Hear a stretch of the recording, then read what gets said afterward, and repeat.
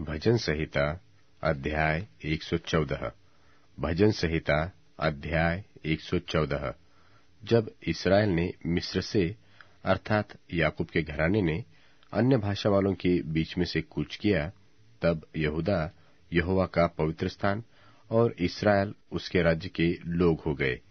समुद्र देखकर भागा, यर्दन नदी उल्टी बही, पहाड़ मेंढों की नाई उछलने लगे और पहाड़ियाँ भेड़ बकरियों के बच्चों की नाई उछलने लगी। हे समुद्र, तुझे क्या हुआ कि तू भागा? और हे यर्दन, तुझे क्या हुआ कि तू उल्टी बही? हे पहाड़ों, तुम्हें क्या हुआ कि तुम भेड़ों की नाई? और हे पहाड़ियों, तुम्हें क्या हुआ कि तुम भेड़ बकरियों के बच्चों की नाई उछली? हे पृथ्वी, प्रभु के सामने। हाँ याकूब के परमेश्वर के सामने थरथरा।